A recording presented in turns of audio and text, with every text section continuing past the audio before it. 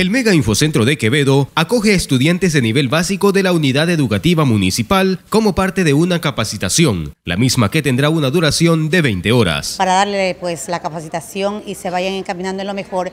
Aquel curso este es el último paralelo octavo C.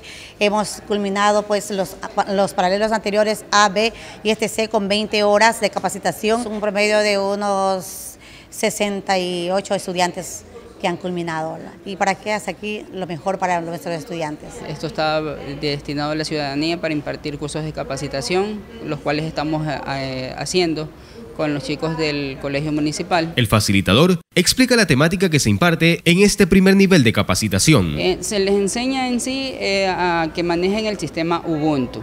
las instituciones públicas están ya proporcionando este nuevo sistema, es un software gratuito el acceso es totalmente gratuito también aquí, entonces se les enseña a cómo manejarlo porque tiene ciertas diferencias a lo que es Windows. Entonces hay cierta complicación al momento de manejarlo porque estamos acostumbrados a manejar Windows.